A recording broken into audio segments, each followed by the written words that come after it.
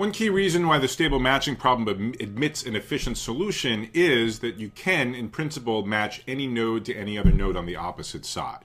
Sure, the nodes have preferences and might not want to be matched to certain nodes, but there's no hard constraints preventing certain pairings. When you do have such hard constraints, we wind up with the classical bipartite matching problem. So the input to the bipartite matching problem is a bipartite graph. So remember what that means. That means you can take the vertices and put them into two groups. Let's call one of them capital U, the other one capital V, and every single edge has exactly one endpoint in each of the two groups. Put differently, there exists a cut of the graph that cuts every single edge. The goal is to compute the matching. Remember, a matching is a subset of edges that are pairwise disjoint. No pair of edges can overlap at an endpoint. And to compute the matching that has the largest possible size. So for example, in this pink graph on the right, there are various matchings consisting of three edges, and I'll leave it for you to check that there is no perfect matching. There's no way to have a matching of four edges.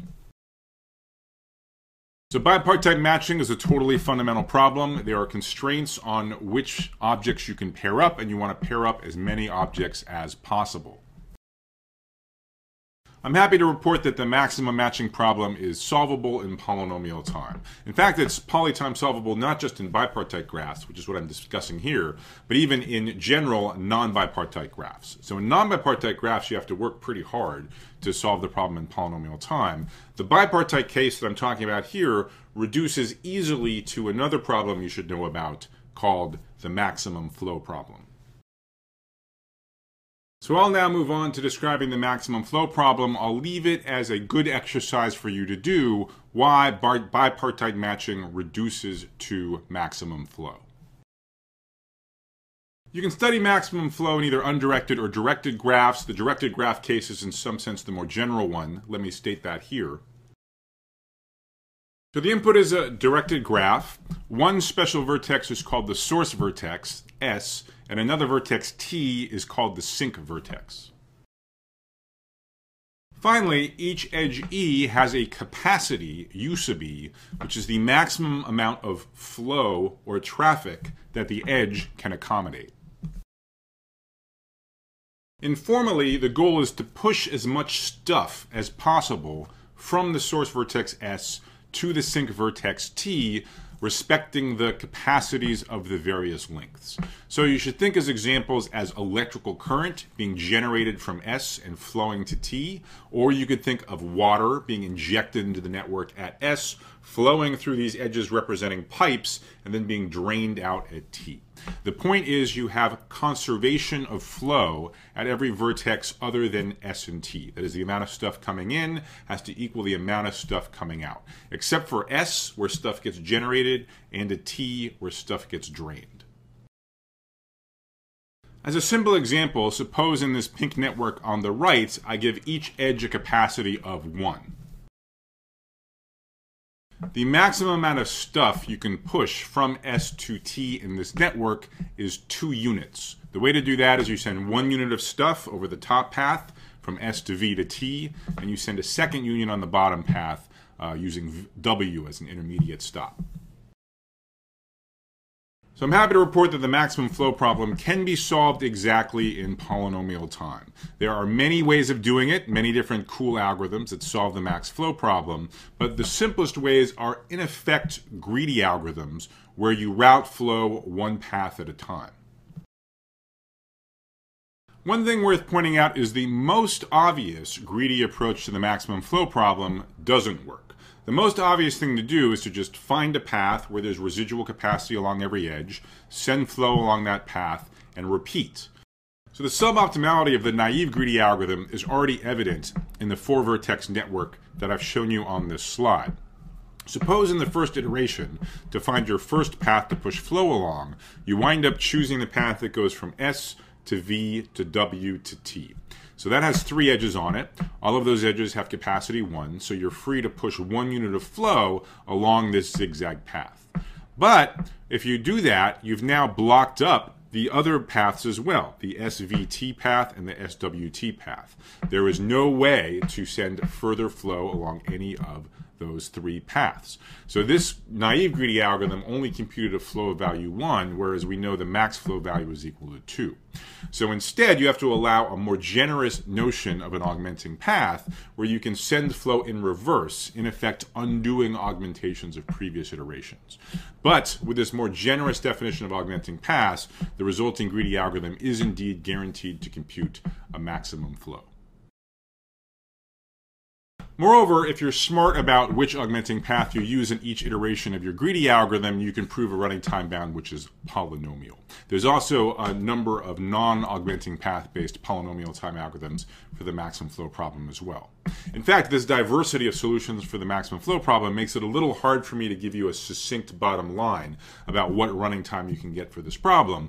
But roughly speaking, we don't have algorithms which are near linear time, but we have plenty of algorithms which are not much worse than that. In the quadratic regime, think about, you know, Bellman-Ford like running time bounds of m times n. And a lot of these algorithms do quite a bit better than quadratic in practice.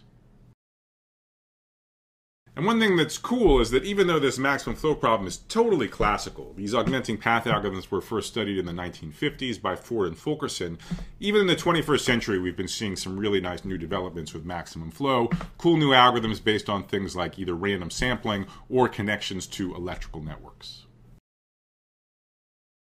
In some applications of flow networks, you want to think about flows as not being computed by some centralized algorithm, but rather as arising from the behavior of a number of participants. Think, for example, when you get in a car and drive from, say, home to work. Nobody's telling you which route you have to take. Rather, you choose what route you want to take from home to work based on your own preferences. For example, perhaps you take the shortest route available. Such self-interested behavior in networks has been a major research topic in the 21st century. Let me just show you one cute cocktail party ready example of that called Braess's paradox. So imagine we have a flow network, and again, you might want to think about road traffic as being a simple example. Let's focus on a case where a bunch of morning commuters are leaving a common suburb represented by a vertex S destined for some nearby city, let's call it a vertex T, all leaving at roughly the same time, and all of them get to pick whichever routes they want through the network to get from S to T. So to better represent issues in transportation networks, let's, instead of thinking of links as having capacities, let's think of them as having delay functions. So for each edge, there's going to be a function which describes, as a function of how much traffic uses that edge, what is the resulting travel time that all of that traffic endures. So as you know from your own experiences, the more congested a road is, the longer it takes you to get across that road. So as an illustration, in this pink network on the right, let's give two of the roads the constant delay function always equal to 1. So these would be roads that have in effect an infinite number of lanes, but they're also pretty long. So no matter how much traffic is using it, it always takes you an hour to traverse one of these two roads. The other two roads, by contrast, we're going to have the travel time increase with the congestion. And just to keep things really simple, let's use the identity function so that if 100% of the traffic uses one of these roads, then it takes an hour. If 50% of the traffic uses one of these roads, all of that traffic takes a half an hour to traverse the road, and so on. So let's now look at this pink network. Remember, we have this one unit of selfish traffic, which is representing hundreds or thousands of drivers that are picking their own routes from S to T. Let's assume that drivers just want to get to T as quickly as possible. They just want to minimize their travel time. And then the question is, which flow is going to arise from this aggregate self-interested behavior? Well, the two routes are exactly the same. Each one has one road that always takes an hour, and it has a and also has a second road which takes time proportional in hours to the fraction of traffic that uses it. So because of this symmetry, once things settle down into a steady state, we expect half of the traffic to be using the top path, half of the traffic to be using the bottom path. With a 50-50 split of the traffic, each of the two routes takes an hour and a half overall. Now, I mentioned something called Braess's paradox. So, what's the paradox? Well, imagine that we view this hour and a half commute time as totally unacceptable. Moreover, imagine that we have a new technology. Someone just invented a teleportation device, and we want to install it in this network so that people can get to their workplace faster than before. So let's install one of these teleporters at the vertex V to allow people to travel instantaneously to the vertex W. So we will represent that by adding to this pink network a fifth link from V to W with the constant delay function always equal to zero. So what are the ramifications of adding this teleportation device allowing you to go from V to W instantaneously? Well, suppose you were one of these drivers, stuck with your current commute time of an hour and a half. No surprise, you would want to ditch your old route to make use of this new teleporter. So you would want to switch from your old path, whether it was SVT or SWT, to the new zigzag path, SVWT. It's looking like then it would you get to work in only an hour. You'd spend half an hour on the edge SV, instantaneous teleportation, and another half an hour on the edge WT. But here's the catch. Not only are you going to switch your path to use the teleportation device, so are the thousands of other drivers. So, in the new steady state, after we've augmented the network with this teleportation device, everybody's going to be using the zigzag path, SVWT. And now that everybody's doing exactly the same thing, all of the traffic uses the Edge SV, driving its travel time up to an hour. Everybody's using the Edge WT, driving its travel time up to an hour.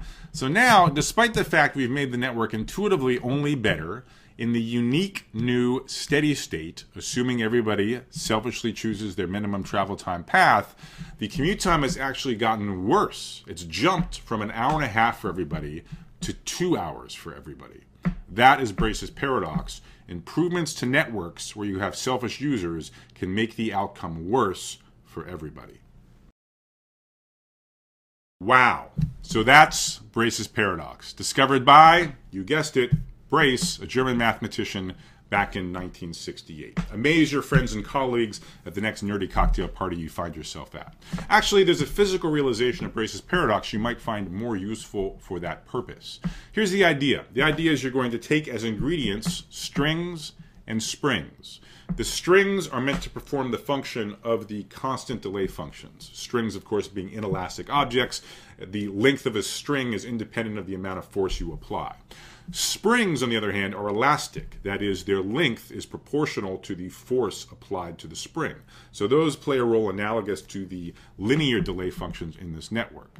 So Braess's paradox shows that there exists a way to wire strings and springs together and then hang this contraption of strings and springs from a fixed uh, base, say the underside of a table. You hang a weight from the bottom of these strings and springs, so that naturally stretches it out. Now, in general, when you have a contraption that's holding some weight and you start chopping, you take a pair of scissors and you cut things off from the middle of this contraption, you expect the contraption to be weaker and therefore the weight is going to sag further toward the ground. But in the same way, Braess's paradox shows that removing a supposedly helpful teleportation device from a network can actually improve, can actually shorten selfish commute times. That shows that cutting out taut strings from the middle of the contraption can actually get a weight to levitate further off of the ground. And this is not just hypothetical. Students in my classes have built these strings and springs contraptions and have demonstrated this levitation. If you search YouTube, I'll bet you can find some videos. Try it at home.